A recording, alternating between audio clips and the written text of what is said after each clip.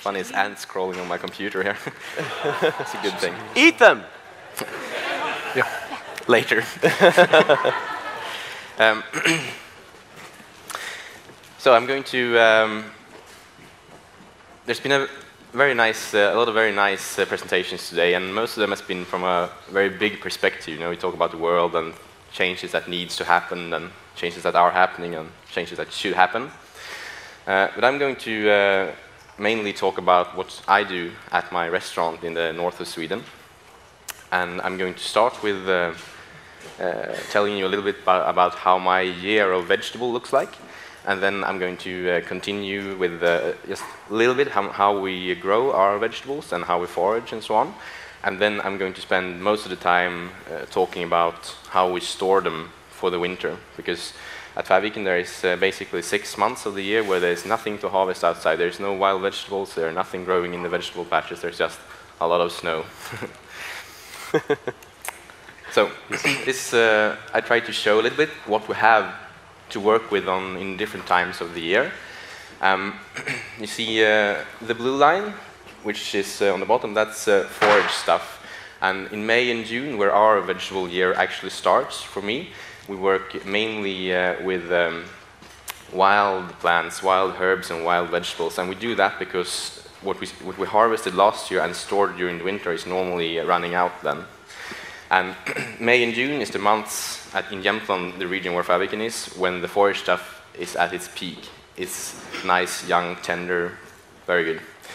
Uh, then we take a little break in uh, end of July, uh, end of June, or sorry, shit.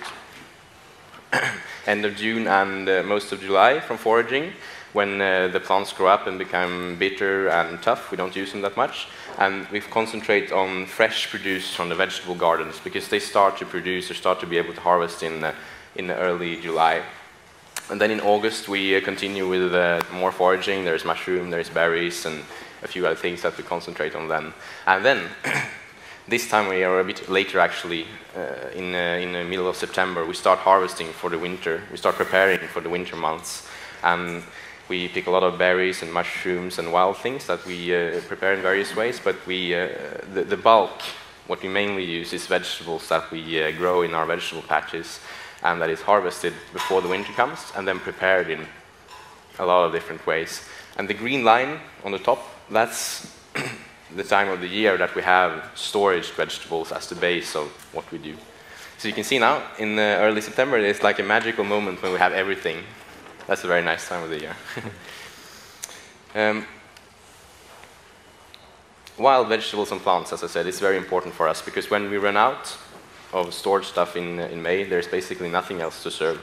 And uh, this is um, our main foraging grounds. This is from uh, the top of a hill, and you can see there's a little valley towards the lake, which is very, very lush.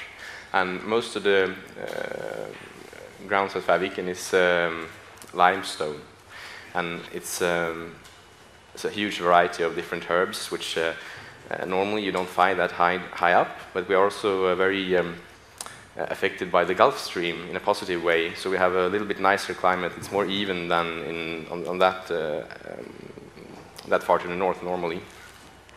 this is just a few of the most common um, wild, wild vegetables, herbs, and mushrooms and berries that we use. There is, uh, in total, there are several hundreds that we forage and use. This is the most common ones. The vegetable gardens is something I'm going to talk a little bit more on, and it's something I'm extremely proud of because uh, at Fäviken our climate is uh, more or less subarctic. It's very far to the north, and luckily we have the Gulf Stream to help us a little bit, but it's still uh, the summer isn't that hot. It's um, quite short as well, and the one thing we have though is a lot of sun, which is a good thing. The days are very long. Here you can see the vegetable gardens in two different seasons. That one on the left is um, early spring, it's May, and the one on the right is early December. This is uh, just a few weeks ago, actually. It looks a bit different, and it's also a different angle, but this is uh, just besides the restaurant, and this is uh, uh, a view of the vegetable gardens with two people working it. This I also made myself. It's very bad. It's Google SketchUp. I, I, just wanted to show you a little bit and explain how we uh, work with the garden because I'm, I'm pretty new to gardening. I've been, I, I made the first little vegetable patch about three years ago, and I started to learn and started to investigate how you do it, and I started talking to people. And then two years ago, I employed a gardener who is very passionate. Her name is Magdalena, and she's very passionate and very knowledgeable, very curious. Um, we, we choose um, a nice southern slope, and we have, uh, you see, at the top there's trees. There's trees uh, protecting the gardening a little bit from uh, the western winds, which is the most common wind in Fäviken. There's always cold western wind from the sea blowing in. um, our philosophy when it comes to gardening is um, like we want the best possible quality. We don't look that much in high yield and so on, so we choose varieties that we feel give Jacqueline. us the maximum taste that we want.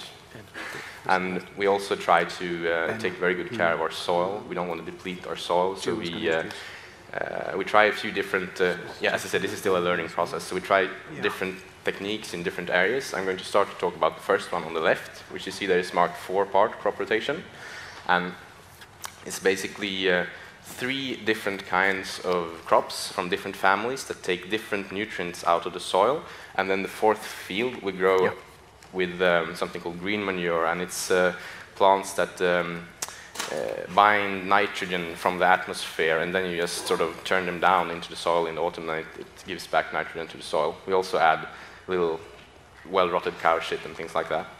But there's no uh, chemical fertilizers, no herbicides or pesticides anywhere. Uh, the crop rotation is also important for us because we don't want to use, as I said, any herbicides or pesticides, and uh, it's good for, for disease control to move the plants all the time. Uh, yeah. This is a little photo from the first section of the four-part crop rotation, and this is a pretty uh, like traditional garden. There's nothing really special about this. Um, this is early in the spring, and what you can see here, something we use a lot, is the little textile we put on top. It's very common. Most of you probably recognize it and most of you probably know what it's for. It's to make the climate a little bit hotter and a little bit damper underneath the textile. But it also has an important function that we found is very, very uh, important for us at least, and is that if you keep this when the young, the, the, the seedling, the plant is young and vulnerable, you will um, uh, prevent it from getting different disease in form of uh, insects because they can't really reach it. So uh, because the only insect control we have later on is that we have to take them away one by one, and that's, that's tedious, that's not nice. so, the other part, the most productive part of the vegetable patch is the middle part, it's a six-part crop rotation. And it basically the same system, though there's two surfaces which is uh, planted with green manure. And um, and it's also um, a little bit more technical kind of farming. It's raised beds, which means that you like make a wooden thing that would like a huge box to to make the bed where you uh, grow the vegetables a little bit higher up. And we also cover the soil with um, a dark um, dark cloth, and every plant has a little hole to grow in. And this uh, this has two benefits. First, the, the temperature in the soil gets a bit higher, and mainly actually for us it saves a lot of time on um, taking away uh, unwanted uh, unwanted plants disturbing your crop. And there is also drip irrigation in this part. It looks like this. This is uh, early June. And as I said this is the most most uh, productive part of our vegetable patch and the one we actually started with. With help from a, a university in Sweden to implement this technique and and was very happy with it, but we are actually going to stop using it from next year. Because what we find is that when we analyze the soil in our vegetable patch, which we do every year, is that we do not succeed in replacing what we take away from the soil with this method. It's too productive for us. So we're going to uh, either change it or stop using this exact method in any way. Uh, last part is the polytunnel, which is like a little, very cheap, very simple greenhouse, and there we grow our seedlings, which we then place out in the in the vegetable garden. And on the far end, on the right side, it's a three-part crop rotation, um, which we try another technique, which looks like this, where we cover the soil, but not with um, not with the, the tissue, the, the black tissue, but with the grass clippings and things like that. And as I said before, this is a learning process for us. We're trying different techniques and trying to see what uh, affects the soil in the best possible way, and what gives us the maximum quality of vegetables. This is the herb gardens, which is uh, just besides the restaurant. The restaurant is the red building in the back. The herb gardens are there for um, partly because they're beautiful. We often serve the often serve the aperitif before before dinner there and so on. But they also give us all the herbs that we use in the summer and all the herbs that we dry and save for the winter. Storing vegetables is always about making a choice to kill the plant or not. This is something uh, I came up, I, I, thought about myself a while ago while working with this and deciding how we're going to store uh, all the different vegetables we need for the winter. Because, and I think I think this is a nice way of categorizing the ways that you can store vegetables. Because I'm going to tell you. Sorry. so, some of the techniques they kill the plant and they kill all the harmful bacteria too, or it makes the environment difficult for them to live in.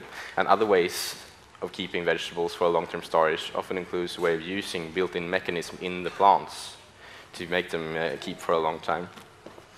And I'm going to uh, talk a lot now, the, the, the, the, 20 minutes I have left, about all those different techniques that we're going to use.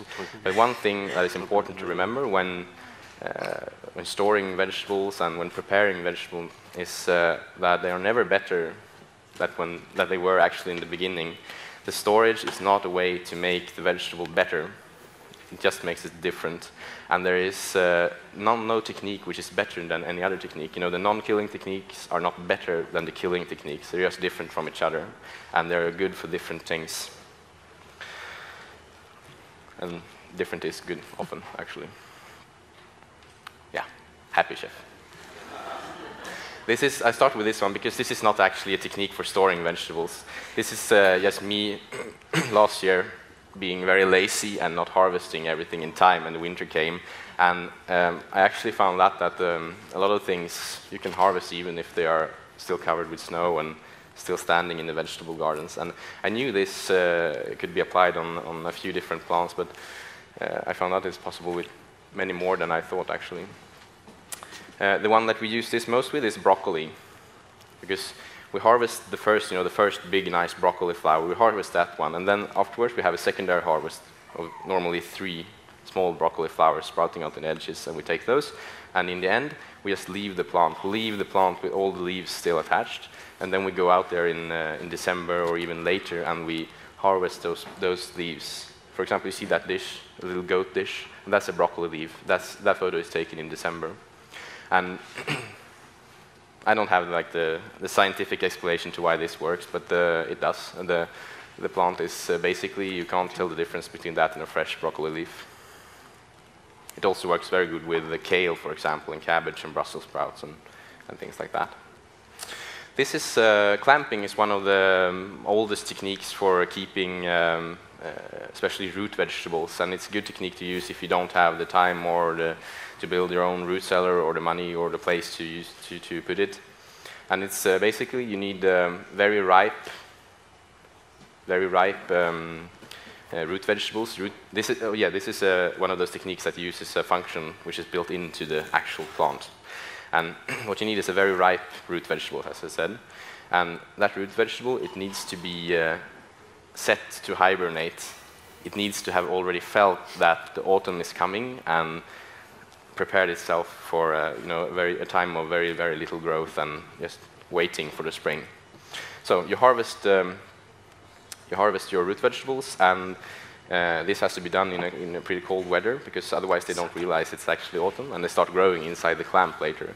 You, um, you um, make a few, like two drainage trenches, one on each side, and on a little mound between them, you uh, place a layer of straw and how thick that layer needs to be, it depends on the climate where you are and how humid it is and a lot of things. You have to just try yourselves and find a good thickness. Yeah.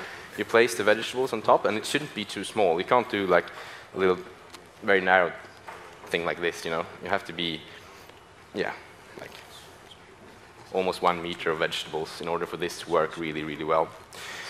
You cover them with straw, and then you add more soil on top. And you also make a little, uh, like a little ventilation chimney somewhere in the in the clamp to to get excess moist out. And uh, storing vegetables like this, it, uh, it keeps uh, most root vegetables, um, oh, sorry. it keeps most root vegetables really fine until, uh, in, until spring actually, so they can be kept for like six months. And what can be dangerous with this is that you put everything together, and if they start going bad, the process can spread from one vegetable to the other, another, and you, you don't, you not, since you can't just open up the clamp and just take out one, one vegetable and then close it again, it can be difficult to, um, uh, to know if in, in one end you have a bunch of rotten vegetables destroying the others if you're in the wrong end, so harvesting them. Uh, the root cellar this is sort of a, a more modern way of using the same function as the clamp. Um, what's important with the root cellar is that it's uh, very well ventilated and that is uh, stable in temperature over the year. Storing root vegetables in a cellar, we do so that we uh, use big crates of sand and then we, uh, we, we, put um, all the vegetables in there and we bury them in sand. And the sand helps to control and to even out differences in humidity and temperature over the year. Um, we can keep them this for very, like this for a very long time. And of course, they change there. They, they, there will be a change in the vegetable. And for the first months, it, it, will look practically the same. But then it starts to shrivel a little bit. And often in the spring, uh, especially with, for example, carrot and parsnip, carrot, parsnip, and beets, they will sense that it's arriving, and they will start to sprout. And that usually marks the end of the storage period for those vegetables. So you just have to, when that happens, you just have to uh, uh, take them out of the sand and be sure to use the little sprouts because those are very good. They're like the essence of a vegetable. And use the rest as well, of course. This has been standing in a, in a storage place in the farm, in the estate. There's, there's a lot of other people, like besides the restaurant staff, working at Fäviken, and this is how much the, the other people respect my equipment. um, I, I, read a study from uh, the Swedish Agricultural um, University, SLU, a while ago about um, how to store uh, vegetables and especially leeks. And apparently leeks, if you if you put them uh, in a low temperature and the proper amount of air humidity, they can keep for a very long time. And this is uh, manifested by the fact that you can harvest your leeks and put them in a piece of soil just outside of your door, and you can keep them there all through winter, even if it's below zero and so on. It doesn't matter. Uh, this, is though, this, though, is very difficult at Fäviken because there's so much snow, so you can't really get down to them. So we built this. We bought an ordinary household freezer. We uh, tinkered it with, with the thermostat, so it keeps uh, exactly one degree below zero. We fill it with sand in bottom, and then we just harvest the leeks in early, uh, late September or early October, and we stick them down the sand. And uh, we also moisten the sand a little bit because it's, the, humidity should be between 90 and 95 percent. And this way, the study said that you can keep them in about 90 days, but we've been trying and, and, and keeps fine for around 120 days. And if you, in the spring, if you put them out outside again in your vegetable patch, just continue growing. it's very fun, actually. Yeah, drying of onions and garlic. um, in the autumn, we harvest our onions and garlics, and we just leave them lying outside, as on the, on the, on the picture to the left, until all the leaves have become brown and dead. And then we just take them inside. We store them uh, in a dry and room temperature space, and dark. They keep for a very long time, all winter. Pasteurizing. This is uh, a technique that kills the, the plants. Uh, in that can there is tomatoes, those were uh, put in a very light brine in 2009 and then uh, kept at uh, 85 degrees in a steam oven for about 10 minutes. And they keep very well that night. this is a technique that most people use at home like 50 or 60 years ago. It was very, very common, but nobody, nobody does it almost today. And it's a technique that you have to be a bit careful with because since you uh, kill most of the normal bacteria and certainly all the lactic acidic bacteria, uh, there is a danger if you're not very meticulous with the hygiene and things that you can have uh, Clostridium botulinum, which is uh, not very good. It's a bacteria that can grow and can kill people. Pickling in vinegar. Um, in Scandinavia, it's something that we use a lot for herring and vegetables and a lot of different stuff. It's uh, a good technique for condiments, I find. And it preserves the plant material by mainly by changing the pH level to, uh, to somewhere where uh, most uh, microorganisms can't actually breed or grow. Pickling by lactobacillus fermentation. It's uh, a technique that uses, uh, it's, it's, basically the most important part of this is the same as pickling in vinegar. It's the change of pH level to a level that most bacteria and other microorganisms don't like. But this is uh, different in the, in, in the way that normally you just take the plant, in this case a cucumber, and you put it uh, in a brine between one and a half and two percent of salt, and you let the, the um, lactic acidic bacteria present on the skin of the vegetable grow and produce lactic acid, which preserves the, the, the, plant. Um, this is not possible to do with uh, with uh, vegetables that has been um, farmed with uh, herbicides and pesticides, for example, because the levels of lactobacillus on them are far too low, so it doesn't really work very well. Um, with this, you also have to be very careful with the hygiene, because uh, and also with have to be very careful with following the process uh, and getting the fermentation started very quickly because if it takes too long a time or if the hygiene has been poor, it's, uh, it's also a risk of uh, Clostridium botulinum in this. Uh, drying herbs and mushrooms. Uh, we dry a lot of herbs. Um, every herb we serve in the winter is either dried or in the form of herb salt. And it's actually very, very simple. You pick the herb at the peak of its maturity on a day when uh, you can really feel and smell when you touch it, you smell the, the, yeah, the aromas. Um, you harvest it and you, uh, you uh, place it um, in a good place to dry. And for me, it's um, in, in the washroom, the room where we do the laundry actually.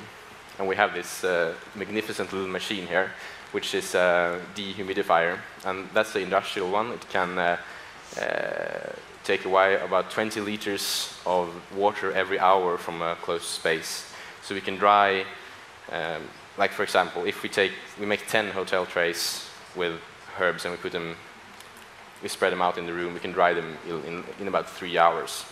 And what we achieve by this very quick drying is uh, nice color and also nice preservation. And the most important is nice preservation of the, the aromas because what you don't want to do when um, uh, drying herbs is to heat them up, because you lose the most fragile and volatile aromas.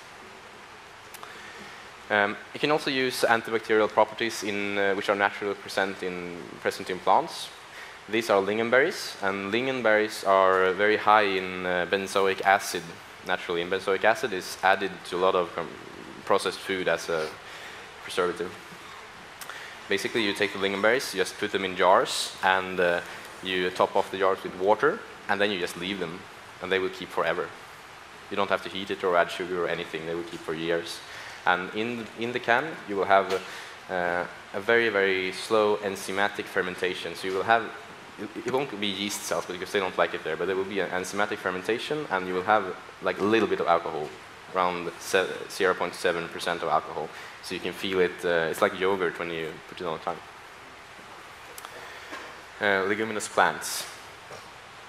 This is something that we use in all stages of the plant's life, from the first little sprouts to the seedling, which we harvest and use in salads, uh, to the fresh peas, which we harvest right now. They're very, very good right now, and beans too. and then finally to dried and threshed seeds that we, um, that we uh, prepare and use in the winter months. Yeah, and that's it. Thank you so much. Thank you.